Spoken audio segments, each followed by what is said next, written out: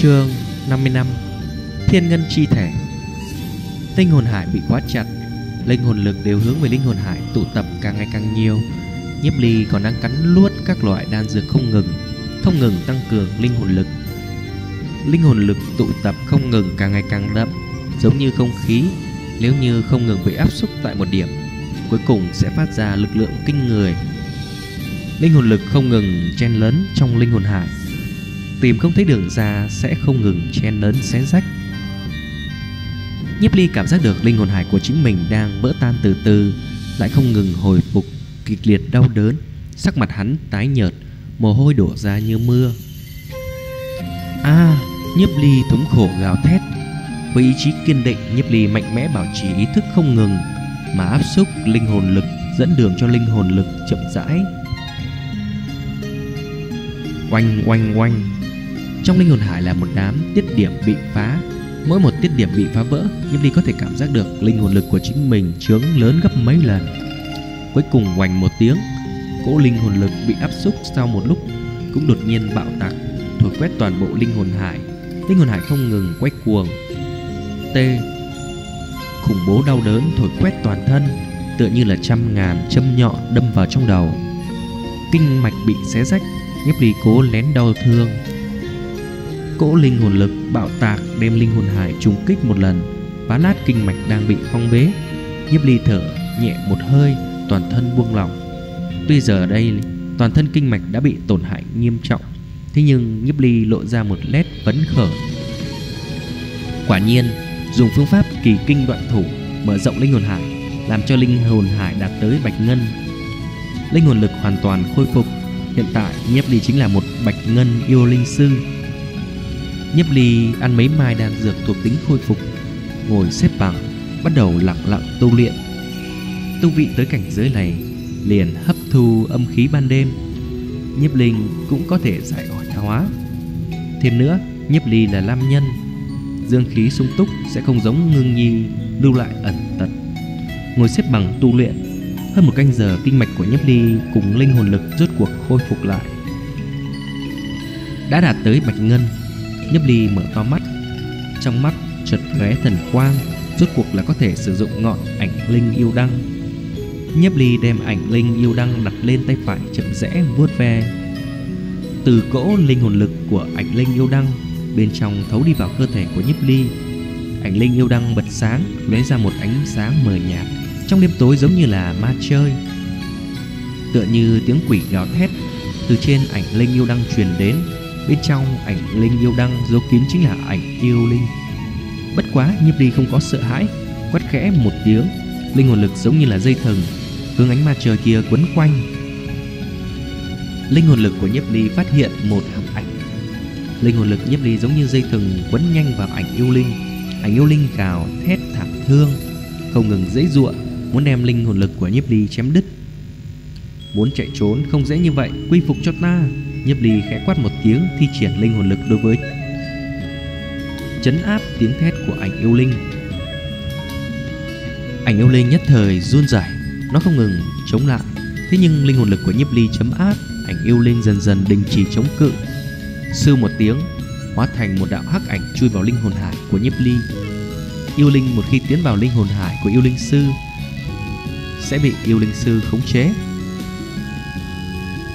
được linh hồn hải của yêu linh sư ôn dưỡng, trừ phi yêu linh sư chủ động phóng thích ra yêu linh mới đạt được sự tự do, giống như là bị đánh linh hồn lạc ấn.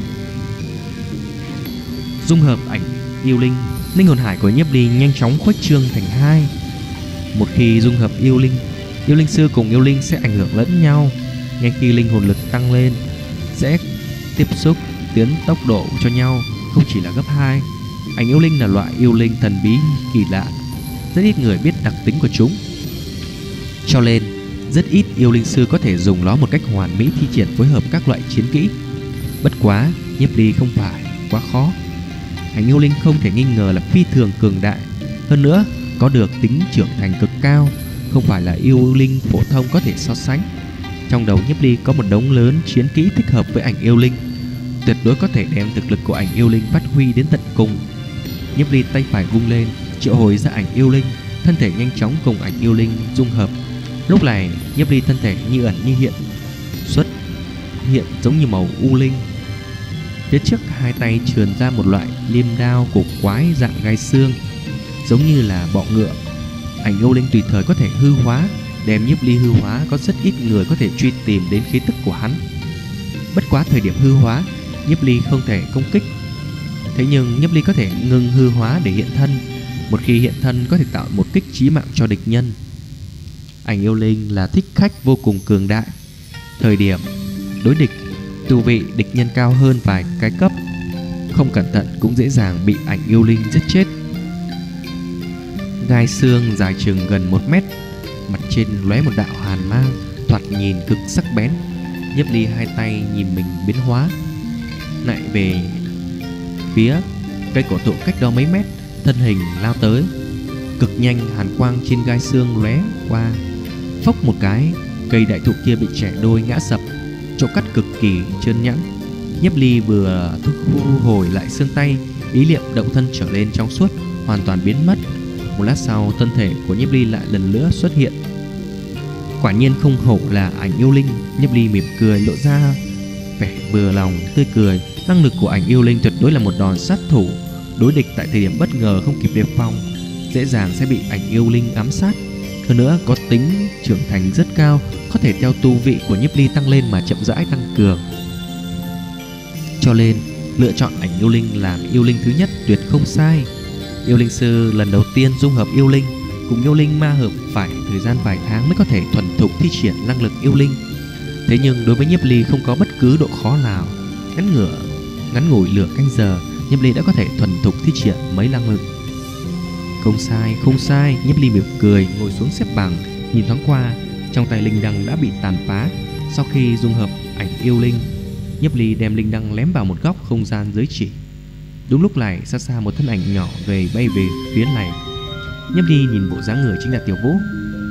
Tiểu Vũ Sao người lại tới đây? Nhiếp ly nhìn Tiểu Vũ hỏi. Ta ngủ không được. Ta muốn giống nhiếp ly ca ca cố gắng tu luyện. Nhiếp Vũ non nớt, Mặt nhỏ chăm chú. Trước khi đạt tới bạch ngân cấp, Tốt nhất là không tu luyện vào buổi tối, Bằng không mất được nhiều hơn. Nhiếp ly chỉ bảo nhiếp vũ, Nhưng là vì cái gì nhiếp ly ca ca có thể? Ta, Nhiếp ly không thể nói, hắn đã đạt đột phá tới bạch ngân cấp. Lam Hải cùng nữ Hải không giống nhau. Lam Hải dương khí cường thịnh, Không sợ âm khí nhập thể. Ta mới không tin. Nhấp vũ vẻ mặt đầy không tin vòng miệng nói. Nhấp ly bất đắc dĩ lắc đầu, Nhấp vĩ vẫn cố chấp. Đôi khi mặc kệ nói như thế nào Đều nói không nghe. Nhấp ly nghĩ nói, Nếu ta đã trở về, ta sẽ dạy tiểu vũ một bộ công pháp. Tốt nha, cảm ơn, Nhấp ly ca ca. Nhấp vũ hưng phấn, Vỗ đôi tay nhỏ. Nhấp ly lấy ra từ trong nhẫn không gian Cầm một viên sơ cấp linh hồn thủy tinh đưa cho nhấp vũ, nói Người trước tiên đem linh hồn lực rót vào trong sơ cấp, linh hồn thủy tinh. Nga, Nhiếp vũ không nghĩ nhiều, Đem linh hồn lực rót vào bên trong linh hồn thủy tinh. Một lát sau Thủy tinh chậm rãi phát sáng. Linh hồn lực 32 Tiểu vũ mới 9 tuổi liền có linh hồn lực cao như vậy. Ánh mắt của nhiếp ly đột nhiên khiếp sợ không thôi. Tụ lại bên trong linh hồn thủy tinh thì thào. Khó trách tốc độ tu luyện của tiểu vũ nhanh như vậy. Nguyên lai tiểu vũ có được thiên ngân chi thể. Nhiếp ly ca ca, Cái gì là thiên ngân chi thể? Nhiếp vũ phi thường nghi hoặc Là hoàn toàn chưa từng nghe qua. Hơn nữa nhiếp ly ca ca lại nói tốc độ của làng rất nhanh, làng một tí cũng không cảm giác. Nhiếp vũ không biết Nhiếp ly nói là nói làng của kiếp trước. Đáng tiếc, kiếp trước thiên phú của thiên ngân chi thể Tiểu vũ còn chưa thể hiện ra, Cuối cùng đã chết trong lần đại chiến kia. Nhiếp ly vỗ vỗ đầu nhiếp ly vũ, Rồi nói Chúng ta thiên ngân gia tộc từ thường đại phong tuyết đế quốc Bắt đầu truyền thừa có được lịch sử phi thường xa xăm, Huyết thống cao quý. Trong thiên ngông gia tộc, chiến sĩ cường đại nhất, Cơ hồ đều có thiên ngân chi thể.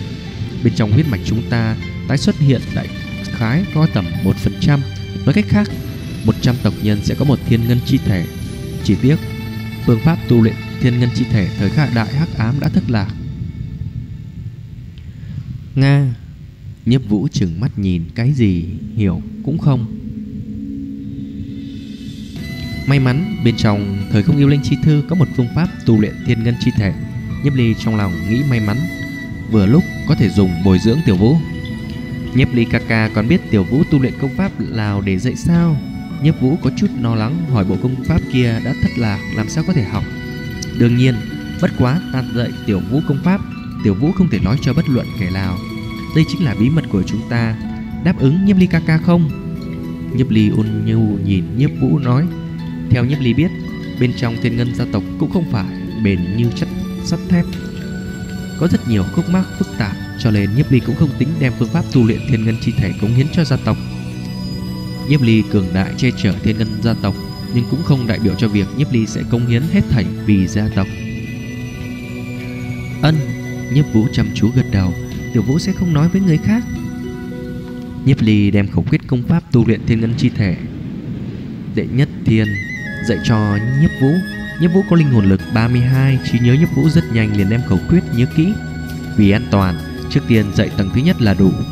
Nhiếp vũ tu luyện xong tầng thứ nhất, Lại đem từng kế tiếp dạy cho làm Trung quy nhiếp vũ còn quá nhỏ, Lại đơn thuần, dễ bị người khác lừa. Nhiếp vũ trong lòng mặc niệm khẩu quyết. Trong linh hồn hải, linh hồn lực rất nhanh bắt đầu cuồn cuộn. Tại thời điểm phong tuyết đế quốc bên trong thiên ngân gia tộc, Có được một yêu linh sư có thiên ngân chi thể, Được xưng là một trong ba loại yêu linh sư cường đại nhất. Cái kia thời đại, thiên tài xuất hiện lớp lớp, Truyền kỳ yêu linh sư vô số kể. Dù vậy, thiên ngân chi thể vẫn đạt được tiến tâm Có thể nghĩ thiên ngân chi thể hẳn là